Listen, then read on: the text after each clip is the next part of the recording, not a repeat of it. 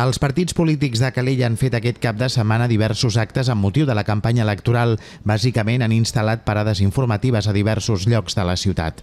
El PSC ha explicat el seu projecte polític pels propers quatre anys en una parada informativa que ha instal·lat dissabte al matí davant el Mercadona. Pel que fa a Convergència i Unió, des de les 11 del matí fins a les 2 de la tarda va tenir un estant a la plaça de l'Església on membres de la federació van explicar les propostes del partit. També van instal·lar inflables pels més petits. I Esquerra Republicana també va instal·lar parada informativa, va ser a partir de les 10 del matí al carrer Església, cantonada amb Sant Joan. D'aquesta manera, els ciutadans de Calella han pogut conèixer de primera mà les propostes que fan els diferents partits polítics de cara a les eleccions generals del proper diumenge.